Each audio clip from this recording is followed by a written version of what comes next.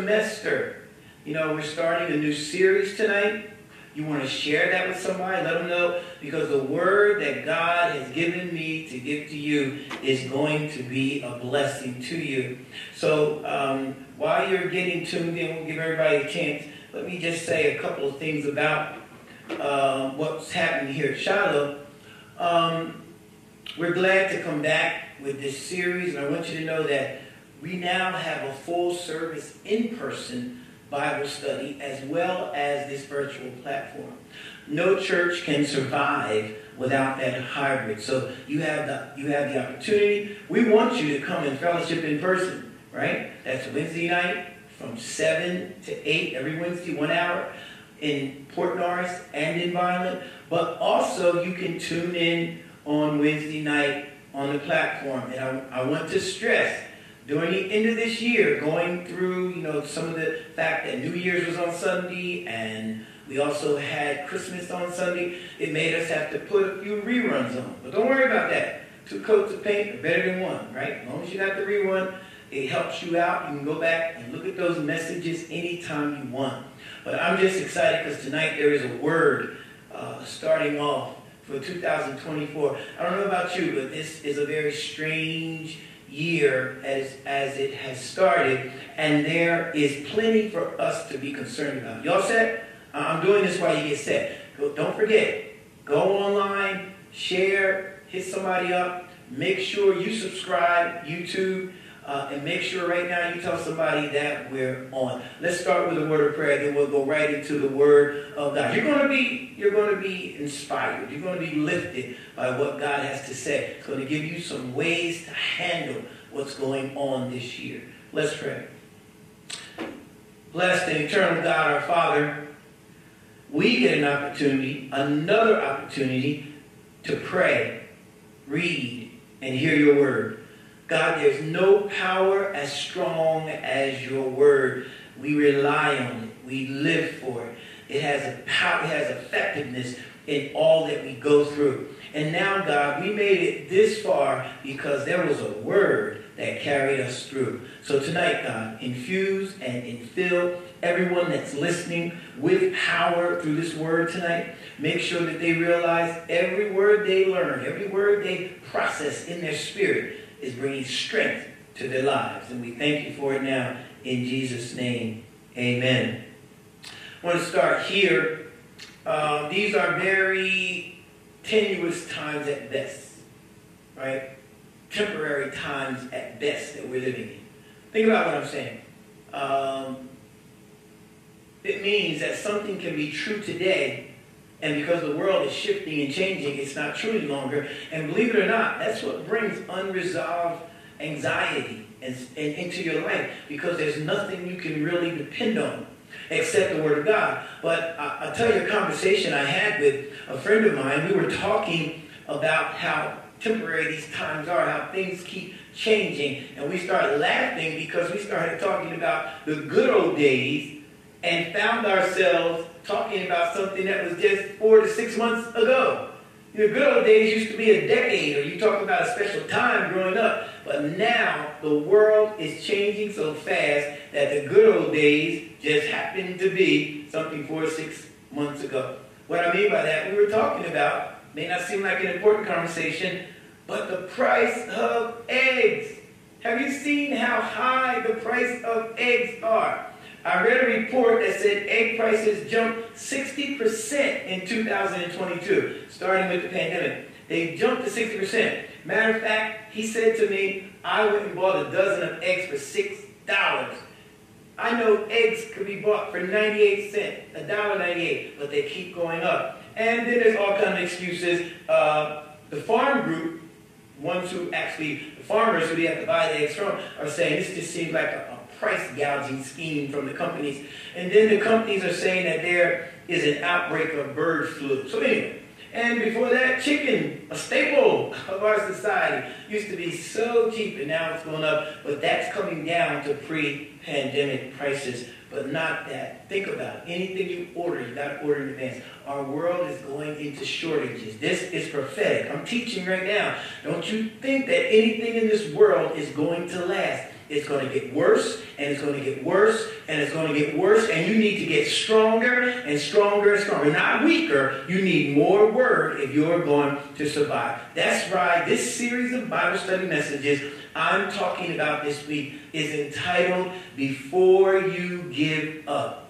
Write it down. I want to give you some promises, some principles you can stand on before somebody needed this. You're listening to me now. You need to tweet that out to somebody. If you do that, send a message uh, in, in the chat and just say, there's some preaching that's about to go forth to tell you what to do before you give up. And quit jiving people. All of us, you know, when I was growing up, I used to hear all the time that you're going to go through some circumstances that's going to be so hard. It's going to be such a bearing on your soul that you're going to feel like giving up. And I used to think when I was younger, not me, when I was younger, but now since I've grown up, I've had a whole lot of those moments, and I'm not the only one that have had those moments in our life where we felt like giving up. I know you front. I know you won't, don't want anyone to know that happened, but there's been some very critical, crucial, hard moments. But I got good news for you.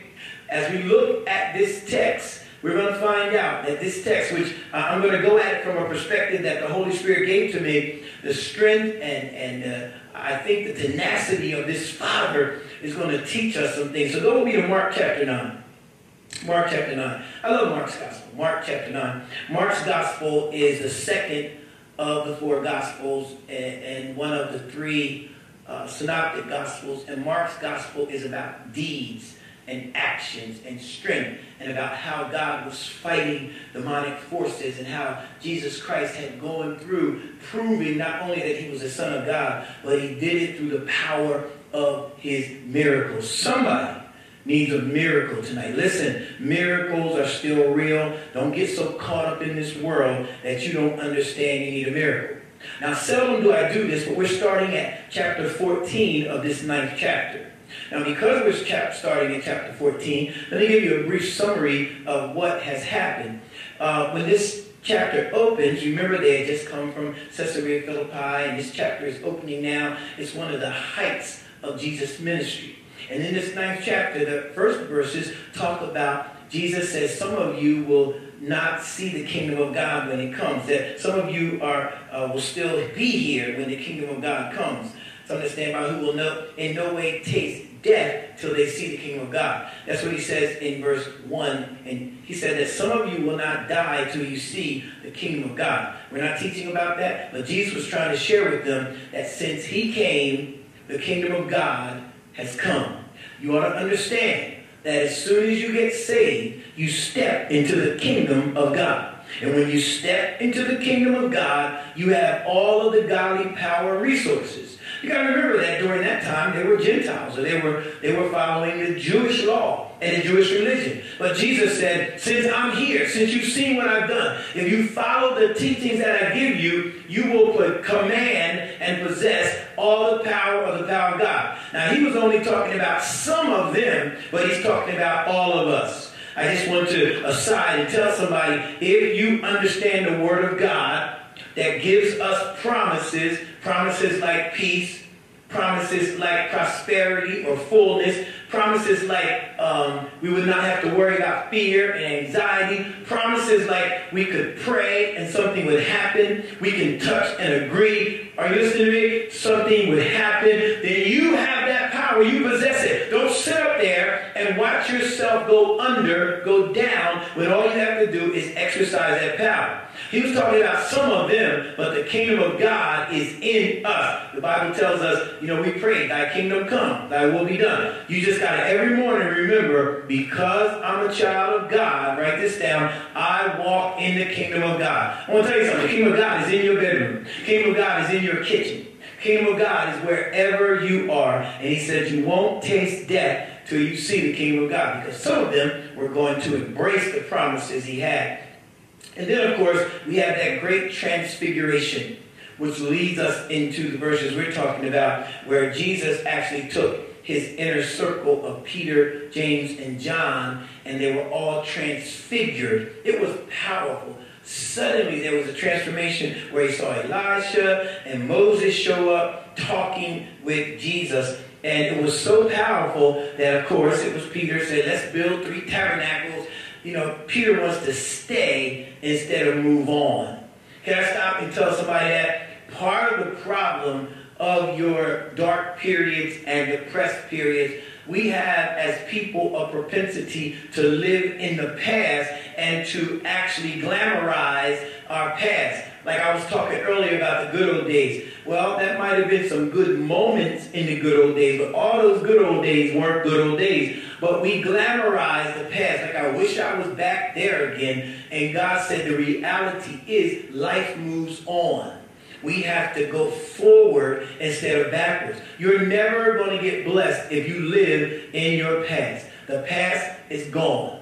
You have to now make up your mind God has something better. You know the cliche, the best is yet to come. It's a cliche to the word, but not to us because that's the kind of God we serve. He promised us better. I need somebody sitting here right now because my spirit is sensing some agony and some hope. I need you to just say, my best is yet to come. Come on, no, say it like you mean. My best is yet to come. Somebody started laughing because they thought about all the mess going on in their life. But I can tell you and I can declare to you that with Jesus Christ, your best is yet to come. So we get down to that and we find out that Jesus left there, and that's when our verses pick up. Go me to the 14th verse of this ninth chapter. I'm reading from American Standard Version. I want you to savor every word, but there's some hidden power written between the lines. It says, And when they came to the disciples, they saw a great multitude about them, and the scribes questioning with them. And straightway all the multitude, when they saw him, were greatly amazed, and running to him, saluted, and he asked them, What question ye have them? What are you questioning them about? And one of the multitude answered him, Teacher, I brought unto them my son, who hath a dumb spirit. That meant he was mute. It was deep. He couldn't talk. And wheresoever it taketh him, it dashes him down, and he foams and grinds his teeth and pineth away. He was having something that was akin to seizures. It just took over his body. And I went to your disciples, and that they should cast it out. And they were not able. The King James, which is three of my favorite words, it says, they could not. We're going to talk about that. And he answered them and saith, Faithless generation, how long shall I be with you? How long shall I bear with you? Bring him unto me. That's such a terrible indictment by Christ. He's saying, all of you who've been in church before the pandemic, grew up in church, clapping, singing, know the Christmas songs, know the Easter narratives, know that God is a blessing God, know that God has blessed you, and somehow you get so distracted by the trials of the world that you lose the power that God has given you. He called them a faithless generation. We're going to go through that. And then he said, How long shall I bear? Bring them unto me. And they brought him unto him, and when he saw him, straightway the Spirit, so when he saw him, the Spirit tore him grievously, and he fell on the ground, and wobbled, and foamed. And he asked his father, How long is it since this has come upon him? And he said, From a child. Wow. And oft times it has cast him both in the fire and into the waters to destroy him. But if thou canst do anything, have compassion on us and help us. And Jesus said unto them, If thou canst, all things are possible to him that believeth. Straightway the father of the child cried out and said, I believe, help thou my unbelief. And when he saw that the multitude came running together, he rebuked the unclean spirit, saying unto him, Thou dumb and deaf spirit, I command you, come out of him, and enter into him no more. And having cried out and torn him much, he came out, and the boy became as one dead, insomuch that the more part said, most of the people standing around said, He's dead. But Jesus, wow, took him by the hand, raised him up, and he arose. And when he was coming to the house, his disciples asked him privately, How is it that we could not cast it out? And he said unto them, This kind can come out by nothing but prayer and fasting. I'm going to stop right there so we can dive into this text. The Bible tells us, when you look at verse 14, I just share with you, Jesus had just come down from Mount Transfiguration, and he had with him his inner circle. And when he got there, he found them questioning. And the first thing he found was that the disciples were asked to cast out the demon, but they could not. Now, follow me. The disciples, stop. The learners of Christ, stop. Those who know Jesus, People only come to you because they think you're different, but nothing will happen if you never act different. Because if you don't act different in your own mind, you won't act different in yourself. So you got to understand, they could not. Now, I want to preface this by giving you three things that these principles are going to take us through. And first, you need to know that this father had tenacity. This father, which we never sometimes focus on this, he had to be someone who cared, as any parent would, about their child. And that's where I get the theme that before you give up, try one more thing. Think about it. He tried the scribes and the Pharisees. He tried the disciples of Jesus. He probably had tried all the Jewish laws and all the remedies that were out there. He tried everything that he could try. And then when he got to the disciples, he thought surely they could do it, can you see his hopes dashing? Can you see the scribes and the Pharisees around him laughing? And then all of a sudden, can you see Jesus stop going down? Because his disciples can't produce anything out of their walk. Can I tell you that a lot of times when your spirituality is in question, you bring God's into question because people are waiting to think that God is not real. People are waiting to think that Jesus can't do anything. So the devil shows off and he gets a victory whenever he takes somebody who is already and act like they don't have any power. I'm talking to somebody out there, you know you have a personal testimony. You know you have a story that will tell how God, how God has blessed you, how many times God has blessed you, how God has guided you. And yet, you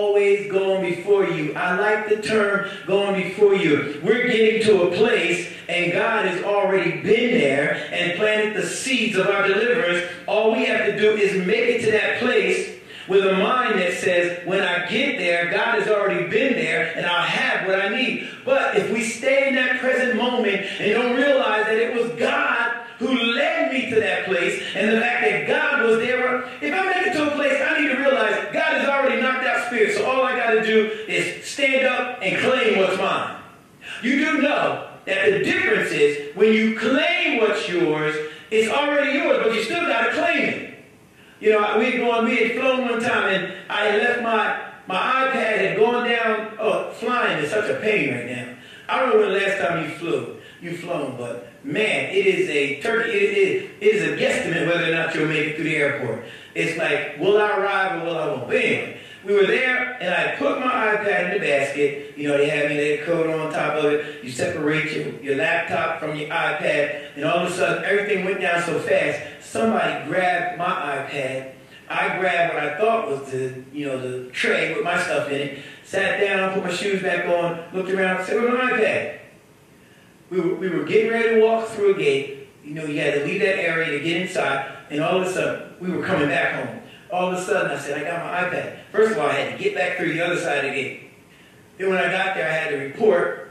They said if, if somebody got it, they took it here. I ran around the airport, found that place. Well, it's not there. I ran around the airport. Make a long story short, they took my name and number and said I can call in a couple days, and if they have it, they'll send it to me. But my iPad did not come back to me because the reality of what I'm trying to tell you about understanding the moment that you're in, I was supposed to trust God. You know, I didn't think it through, but I need to rely on God. And I, I believe that if I would have relied on God in that moment and not panicked, I would have had my iPad. That's me. I'm just telling you what I believe. I believe that if I would have just prayed, you know, man, I would have run around the airport, barely got back in time for me to catch my plane out. And that was just an incident that teaches me that I got to calm down when something happened. And I gave you a real answer because that was a $900 iPad. And I'm thinking, wow, I got to get this iPad. But I never thought about trusting God. But Jesus never failed. Moses was telling them, God has already been there. Listen to me, brother and sister. Wherever you are now, God has already been there. He brought you there, and He didn't bring you there to be a failure. Hebrews 13 and 5. Write it down. He said, Let your conversation be without covetousness and be content with the things that you have. He said, I'll never leave you nor forsake you. There is some instruction. Let your conversation, the words that come out of your mouth, be without covetousness. Mine, mine, mine. I'm worried. I'm scared. I'm. That's what we got to say. Listen to me. I haven't lost you. You know what I'm talking about. You cannot sit there, think godly thoughts, and then come out of your mouth with something that says, I'm losing, or I'm not worth it, or I can't make it. You got to make sure that your conversation is filled with the Spirit of God because you realize that Jesus never fails. I told you about my iPad, but think about Lazarus. When Lazarus, I'm going to ask somebody, they can get me a bottle of water, please. and Lazarus, when he was going through his situation, the disciples came to Jesus, and you know, John chapter 11, and you know, the disciples didn't know what was going on. They didn't know what he meant, that, you know, that he's dead. And then when he got to Mary and Martha, they said, by now, Lord, he stinketh. and then he was upset. And it's the only place in the Bible we know this that Jesus wept. Again, why did he weep? Because there was someone he had invested in someone he had trusted in, someone who had seen him do miracles, and they thought that he could not raise up a dead situation. Come on, y'all. Y'all help me out here. I'm to get some water so I can kill this demon of uh, attacking my throat. But what happened is God can raise. You can walk on screen and see. Thank you. Uh, Vanna White, y'all.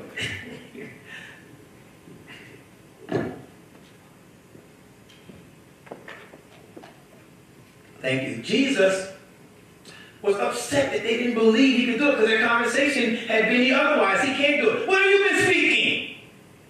If your conversation is he can't do it, he's not going to be able to do it. But Jesus never fails if your conversation is right. So it says that Jesus, no matter how dead things look, no matter what happens, Jesus said, show me where the body lies. If you ever get in your mind to take Jesus to the point where you up, if you ever get in your mind to take Jesus to the point where you stop, Jesus, show me where you gave up, and I will raise up whatever is stopping you. And so we know that God never fails.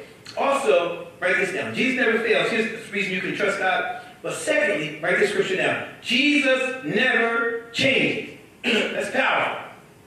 You may change your mind, but Jesus never changes his mind. There's been many times when I changed my mind about myself. We are very finite people. We are very mortal people. We make changes all the time. One of my favorite singers said, everything must change.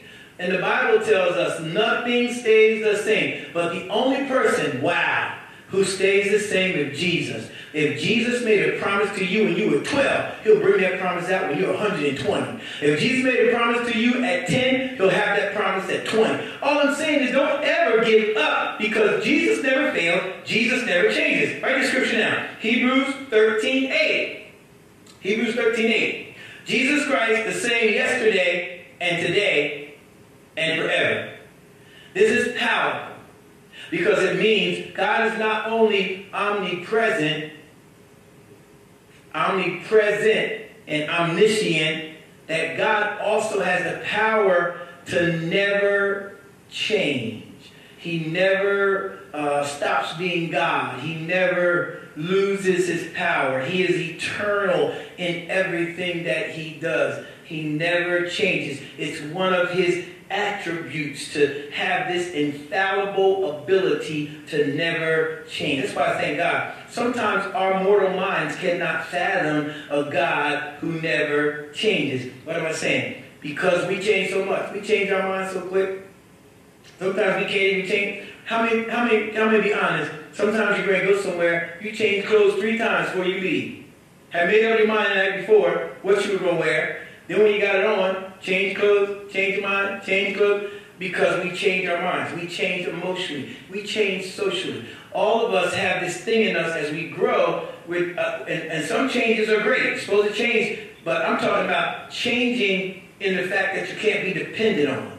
Jesus can be depended on. Uh, I, I remember I had a friend of mine who was a Muslim, and we graduated from high school. He was a Muslim. This is no, this is the honest truth. I saw him. He was practicing. He had all his garb on, which was nothing wrong with that. I respect my Muslim brothers. But what, what happened to him? He had been a Christian, then he became a Muslim. When I saw him again, he was sitting in the barbershop, getting his hair cut, eating a sausage sandwich. So I had to crack on him. I said, man, what are you doing? He said, man, I, I left the nation. You know, I left the nation. You know, I'm, I'm dealing with the black Jews now. Mixed up. Confused.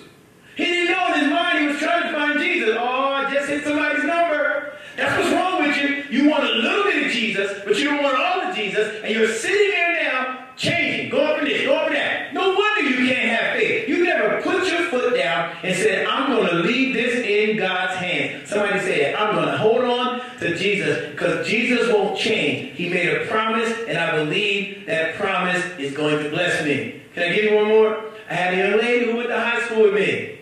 You got to remember, you talking about during, well, I can't even say that now. It's something how the world comes around. I was going to say when we had a race problem. Isn't that funny? We got race problems now, getting worse than they were. But this woman, she was one of my classmates at that time, she was racist. And her and I would sit sometime in the class and she would verbalize why she was racist. Uh-huh. But guess what happened? I was walking through the mall probably I had been out of school about 10, maybe 15 years, and I saw this woman, a little older, of course, but she was walking with a light-skinned black girl. And I'm thinking, whoa, and she spoke to me. And she looked at, she knew how I was looking at her, all was funny. And then she said, James, let me introduce you to my daughter. Say, what? She said, my daughter. Said, your daughter? She's, now, I didn't answer this. I wasn't that bold. But apparently, there was, she, her husband could not have been a Caucasian, so that means that she had changed her mind, she was now with a black man. All I'm saying to you is we are subject to change because we're not stable. But Jesus is the same yesterday, today, and forever. God, Jesus never fails. Jesus never changes. We're to write this down. And the third thing, as we look at why his father could stand on his uh, tenacity, could stand on his promise that I'm going to get my child. I don't care what happens. And if any of you are parents, you understand. I'll never forget when our daughter had an accident and we kept calling and calling. You know, they told us she had an accident. We kept calling and calling and she never answered the phone. When she didn't answer the phone, it just sent us into all kinds of, you can imagine, emotional spasms. We we're riding down the road, trusting God. We had to ride from New Jersey to Baltimore. So we riding two hours and all we could think of, God, protect our daughter, protect our daughter. But our thoughts were, with prayers, she was going to be all right. We kept confessing she was going to be all right. Because we had to believe in the promise of God. and our daughter, the car was totaled, but she was all right. What am I telling you? You got to trust that God never changed. He hadn't changed his mind when he told us he would protect our children. And the last thing is God is faithful. Write it down. The word faithful is applied to a person who you can safely lean on. Wow. It means something that is faithful is something you can trust. Something that is faithful is something that has the ability inherently within itself to not only sustain itself, but also to sustain you when you trust in Him. It's a blessing. And I want you to write this verse down because we have to learn how to hold on. Psalms, uh, let's go to Lamentations uh, 3.23. Lamentations 3.23. They are new every morning. Great is thy faithfulness. Thy mercies are new every morning. God is a God who is so faithful. Wow. I don't need to stop here. But man, new mercy. How many want some? How many know that's what kept them? He said, God is faithful. His mercy is new every morning. I messed up big time last week. I messed up big time yesterday. I messed up big time before I went to bed. But when I got up in the morning, somebody shout new mercy. God said, that's all you need in life, sometimes to clear your head, to clear your thoughts, and the world can't give that to you. Other philosophies can't give that to you. Nobody else has the power to give that to you. Your money, your things. Only God can say, I'm going to give you new mercy to give you a new outlook as you wake up in the morning. And that mercy helps you straighten out your life. It's manifested in his promises. I love the scripture, Hebrews 10, 23. Let, I'm, I'm, reading from an amplified version. Let us hold, Hebrews 10 23, let us hold fast unswervingly to the hope we profess, for he who promised is faithful. He said, hold it. I'm talking about before you give up. Hold on, because the one who promised is faithful. God is a faithful God. So you just have to hold on to the promise because he is faithful. And then Psalms 33 and 4 says, For the word of the Lord is right and true. Here it is. He is faithful in all he does. God's faithfulness will keep us and bless us. And so that's why we will learn the promises or why this father had to stand because our God, I'm telling somebody something so you can take an exhale right now. You can come up for air. The term come up for air means take a break. Let your breath out. You know, don't get worried anymore. Just exhale and rest in the promise of God. He never fails. He's faithful and he never changes. So this text is important for us to help us deal with those moments that come in our life when we feel like giving up we feel like it's so hard to hold on, when things are falling apart and breaking down. So I want you to write three things down we're going to use to go through this, this text and so I can keep you ordered with me and running with me. First thing you need to understand is you need to know that you need to learn how to strengthen your relationship. Strengthen your relationship. Strengthen. You're going to find out that a lot of this was because you can't just listen to me and, you know, surf you know, through YouTube and Facebook and Instagram and surf through television, just finding preachers to pour, pour in you, and you don't have a relationship. You need a relationship yourself in God. So the background of this text, Jesus was, again, Jesus was at the, what I call the apex of his power. He had done 16, uh, had to be miraculous incidents that had occurred that had the scribes and Pharisees all up in arms because they could not stop Jesus. He had done 16, he demonstrated at least 16 times in the book of Mark through his miracles, through his miracle power, that he was able to do what he needed to do. I'll stop again because right now, I could tell you if I was going to add a 17, I would tell you, look in the mirror. Look in the mirror. You're if, you need, if you needed a 17th proof, I don't know how jacked up you were. I don't know what you suffered growing up as a child. I don't know the things you had to deal with, divorce or debt, or maybe you were abused. Um, maybe you got to the point that you don't have a job. Maybe you're homeless. Maybe you got to a point that your child became addicted to drugs. Somebody's in jail. Or your children, when they got old enough, they just went crazy. They weren't looking like anything like you raised. Do you realize you can still pray and trust God? But in order to bridge that gap from your problem to Jesus, you have to, right now, strengthen your relationship with God. This text is important because, let me give you a few of the things he had done. Um, he had just showed up Pharisees with spiritual insight. It's so, it's so funny. I don't want to laugh at that, but every time the Pharisees came against Jesus, he had heavenly wisdom. They could do nothing with him. He had a discourse with his disciples about uh, beware of the yeast of the Pharisees, how that if you let a little bit of unbelief grow, just a little bit, it'll continue to grow in your life.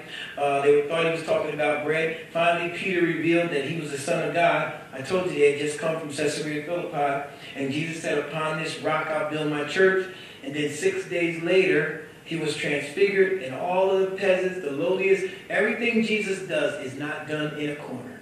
You've seen it. So let's pick it up at verse 14. I love this. When they came to the other disciples, they saw a large crowd around him, teachers, uh, and, and the teachers of the law argued with him, Pharisees and scribes. As soon as all the people saw Jesus, they were overwhelmed with wonder and ran to greet him.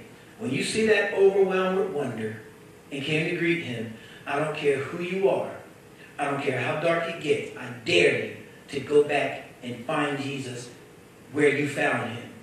What do I mean by that? I got a special place in my house. Every house we've been in.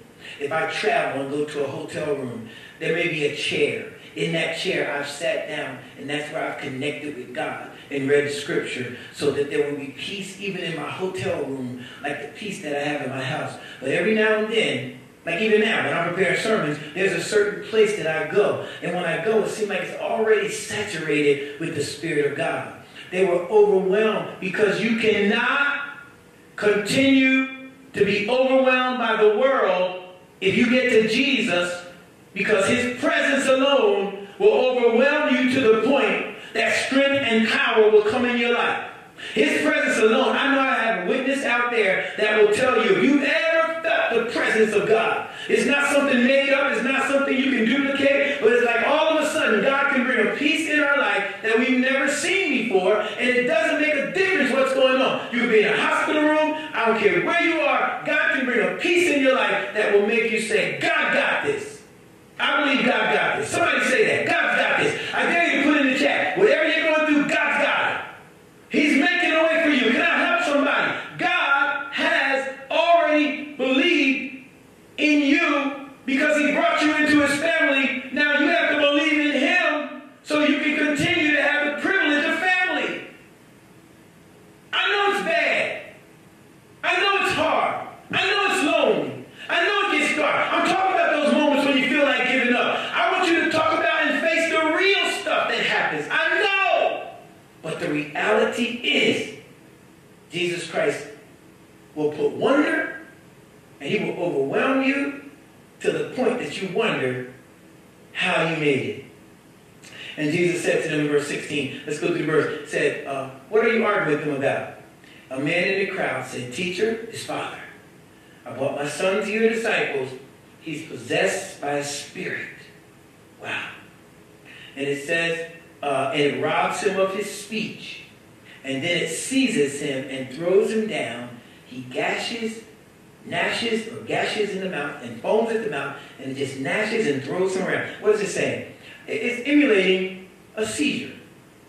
The demon came in and just had its way. Now you need to know we are talking about being possessed by a demonic spirit.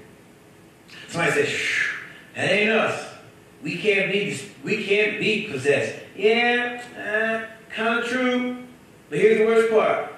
You can be harassed, oppressed, run all over the place, and he will build a stronghold in your mind that's just as bad as possession.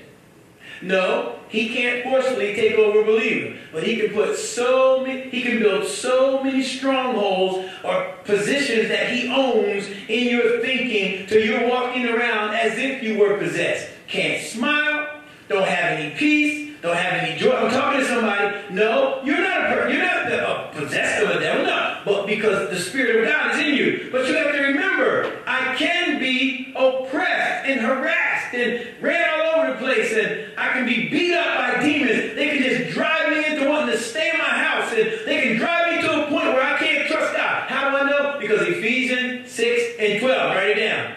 For we wrestle. I don't know about you, but the text did not say. Boxing is when you stand at a distance, you know, and you throw some punches. But wrestling means you got to have some hands-on experiences. He didn't get in you, but he sure jumped on your mind, jumped inside of your mind, and all of a sudden you believed his thoughts. And when those thoughts built a stronghold, you were resting. What am I resting for? I'm resting to try to get back to standing. You've had one of those days where you were saying, I don't know what's wrong, but something's wrong. I don't know. I don't, you don't feel right. It's not, it's, it's almost bad as a physical nausea, but it's a spiritual nausea where you're sitting there wondering something's not right, and you try to read your, that's that, that's that enemy, that's that spirit trying to stop you from walking in what you're to walk in. Look what it says. For we wrestle not against flesh and blood, but against principalities, against the powers, uh, against the rulers of the darkness of this world, against spiritual wickedness in high places. Look at all of those types of demons that we wrestle with. So, we cannot be possessed, but we wrestle, and in the wrestling, if the demon wins, you lose your power. Hmm. Uh, there's a whole lot of demonic spirits out there that we wrestle with, but so you can be on the same page, can I give you some spirits that we have to wrestle with that harass us, that mess us up, and if we don't trust God, they can destroy our life. Somebody say, yeah. All right, come on, let me give it to you. The first one is a lying spirit. It's a spirit. Look at 1 John 4 and 6. We are of God. 1 John 4 and 6. We are of God. He who knows God hears us. He who is not of God does not hear us. By this we know the spirit of truth and the spirit of error or the spirit of a lie. Oh, I just said a lie, I got to unpack it. He said, when I get saved, I can discern that it's a spirit of error. It's in error because it goes against the truth in God's word. An error is always something that's not the truth. It's not true. And so when you live your life in with a spirit, a lying spirit controlling you, then you get to the point where you start walking in the error instead of walking in the truth. There's some folk, you know it, who lie just to be lying, and lying comes easy to this fallen nature. Amen, Pastor. Lying comes easy. How many know you got, how many know you done told a lie before you know it? Uh-oh. I ain't listening to Pastor Dunn no more. He just raised his hand because he told a lie. I gotta correct, I gotta wrestle, I gotta catch myself. I gotta make sure I don't lie. Especially when I'm speaking, the Bible says in a multitude of words there is no error. Meaning, I talk all the time. I gotta make sure I check myself. Don't make something up. Don't just say anything. I, I program my mind that when I do that, all of a sudden there's something that rings in my conscience that says, that's not right. That's why you may hear me, oh, I, I, gotta correct, I gotta correct the scripture because it's, but if you walk in error long enough, you're dipping in that, trying to trust God's word, but you have your mind set on the lie. And lies are so powerful. Oh, these spirits are so powerful, they'll make you believe it. You'll lie so much till you believe the lie you told. But a lying spirit, in John 8 44, remember, Jesus told them there, You're of your father, the devil. He was a liar from the beginning. John 8 44.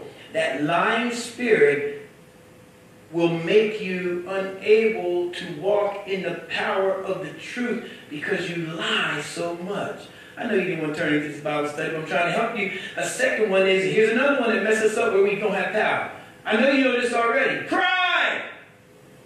Oh my God! Thinking that you're all that. So then when you get hurt, you're hurt more than you used to be hurt because you thought you were all that. And when you think you're all that, all of a sudden you way down in the dumps when you find out you're not. Then you bring in the lying spirit, try to lift you up so you can watch this. And those spirits start getting stronger. Watch the text. Proverbs 16, 18, 19. Check yourself. Pride goes before destruction, and a haughty spirit before a fall. Better to be humble in spirit with lowly than to divide the spoil with the proud. Pride is one of the worst demons because it robs God of his glory. How do I know? Because pride is the sin that Lucifer, who used to be the star of the morning of God in heaven, was cast down because his pride got so much that he decided, I'm going to lift myself up above God. And please understand, we talk about, oh, the devil. Oh, Satan must have been crazy. As soon as you get prideful enough that you take God's glory, or you don't give glory to God where it's due, you are also doing the same thing that the devil did. You are actually at a place where you wonder why I'm helpless because God can't give you glory when you already stole his glory. And now you're walking around in pride. Watch this. And pride is such a killing spirit because it, it boasts of stuff it can't do. Take your mask off. Only person concerned about how good you look and how good you can do that is you. Pride tells you, don't ever let your mask on. Ever. No. Pride sends you to a place that you can't keep yourself. Because pride is saying that I'm God enough to do better than God when it comes to running my life. And that's, that's, that's a lying spirit. That's another spirit. Here's another one. You know this one already. Fear. Somebody asked me that question. Said, Pastor, I've been saved a long time. Why do I still have to fight with fear? Because the Bible tells us very succinctly. 2 Timothy 1 7. For God has not given us the spirit of fear, but of power and love and a sound mind. For all those folk out there who tell you there's no such thing as demonic spirits, spirits that are wrestling with you and trying to and trying to take you down, show them the scripture. If they have any kind of understanding of theology, they will tell you that this was something straight from the mouth of God. God did not give us the spirit of fear, but the fact that he said he didn't give it to us means there is a spirit out there called fear. And how many will tell you it will attack you? Man, I get attacked by fear constantly. See, most Christians don't want to say that. They walk around, you know, I'm strong. No, I confess I'm strong so I can knock down and beat fear. And what keeps me strong is when I say God has not given me the spirit of fear. And then I shake it off. How you got to shake it off? And that's why it's so important that you watch the words of the text. It says, God gave me power. That means the Holy Ghost in me can help me fight the fear. Did you catch that? He said, you got the power. Yes, the fear will come. Yes, the fear is real. And fear is one of those catch-22s. Fear is good until it gets in the hand of the devil. You should be fearful driving 89 and 90 miles down the turnpike. You should be fearful not to take your high blood pressure medicine. You don't know what's going to happen to you. Could be a stroke. You should be fearful when your children are gone and you haven't heard from them and they said they're going to call. Fear is something that alarms you, but you shouldn't be fearful over everyday life and everyday situations, and that fear should have a control. When you know it's a demon and not just natural fear, it's when that fear just continues to rob you of thinking, rob you of peace, rob you of time when you can sit down and enjoy your life. It says, but God gave us power, He gave us love. Oh, God loves me. That should move that fear out of your life. And then He said, I gave you a sound mind. I love that. All of these words are so we can understand how we fight the battle. He said, I gave you a sound mind. That means in my mind, when the devil brings a lie, I know the truth. Somebody go with me. I know the truth. I know the truth. Don't tell me you've never been fearful. I don't care how many years you've been saved. I don't care how many times you listen to the word. I don't care how many titles in your name. I don't, care, I don't care if you're bishop, apostle. I don't care who you are. All of us gets attacked by the spirit of fear. We better learn how to put it down. And here's another one. We don't, another spirit that attacks us is called the spirit of infirmity. Now, I'm walking in, in what they call high cotton now, so I got to make sure I explain this to you.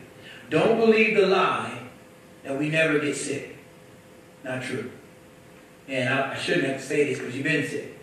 I told you one of my, my, my you know, I, had one time fallen in line with all prosperity type preaching. I, I, you know, I thought it takes something away from God if you couldn't say God do all this. But then I, I wasn't real about the human experience.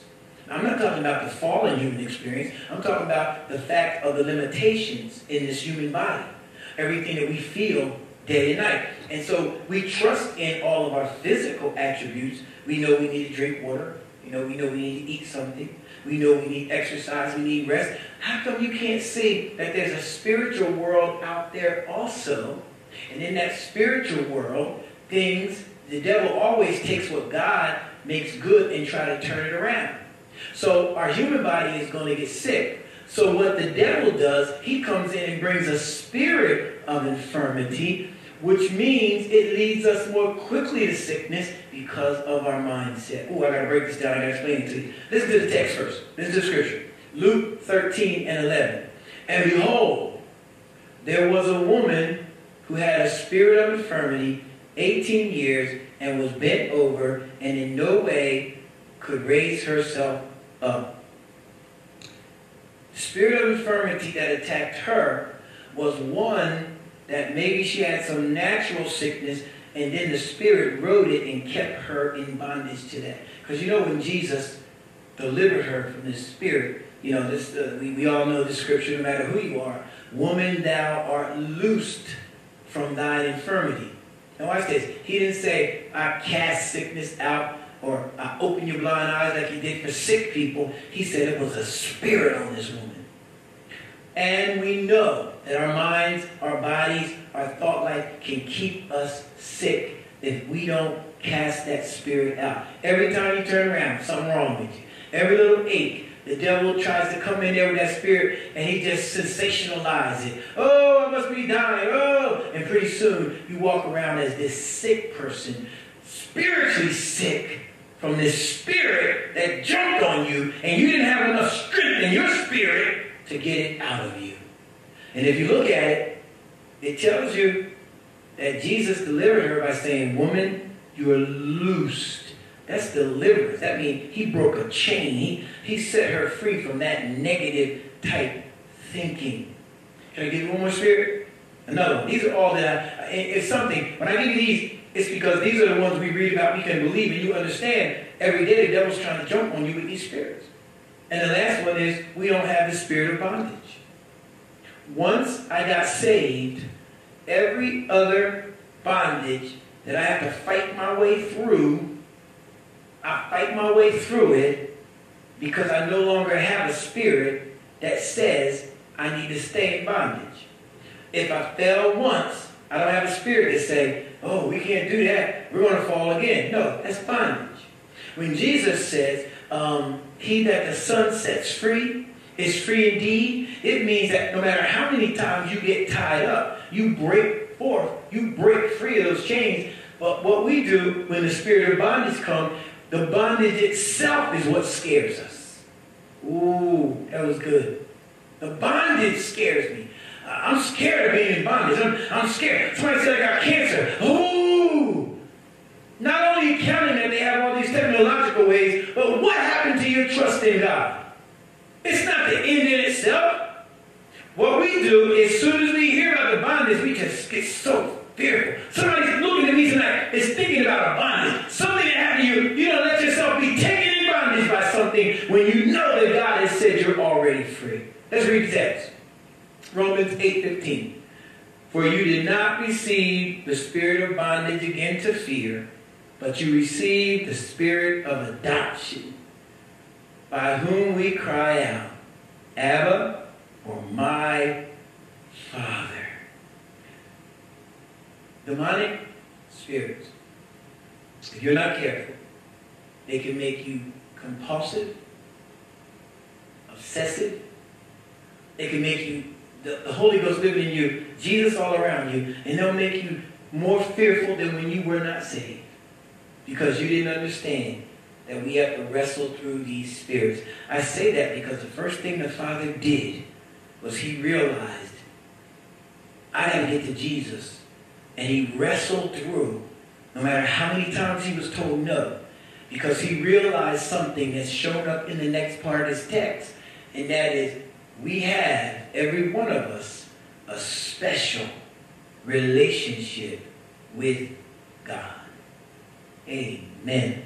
We're going to close right there because we're going to pick up this text next week. Remember, we talked about before you give up. I just told you reasons why not to give up. I told you some things that's happening that's trying to make you give up. Now we're going to look at how to get through this. First of all, I got to realize I have a special, man, you special. Woman, you special. Don't even cheat yourself acting like somebody else. You got a special relationship with God.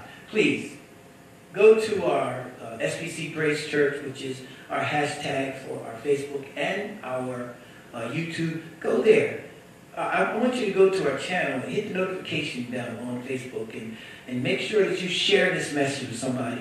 But on YouTube, I want you to go there and I want you to actually become a part of our channel, our YouTube channel.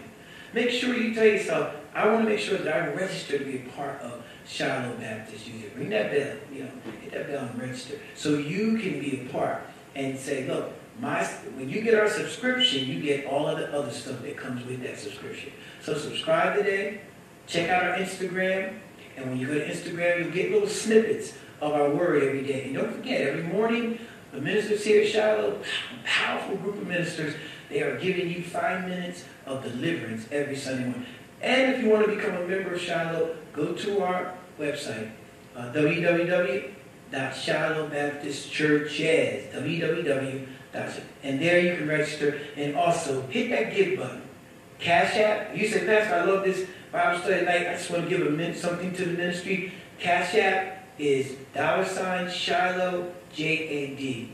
Dollar sign Shiloh J-A-D. And then you can also use Givelify or PayPal. But look, just know that this ministry is moving, and please come back next week and get the second part of this message before you give.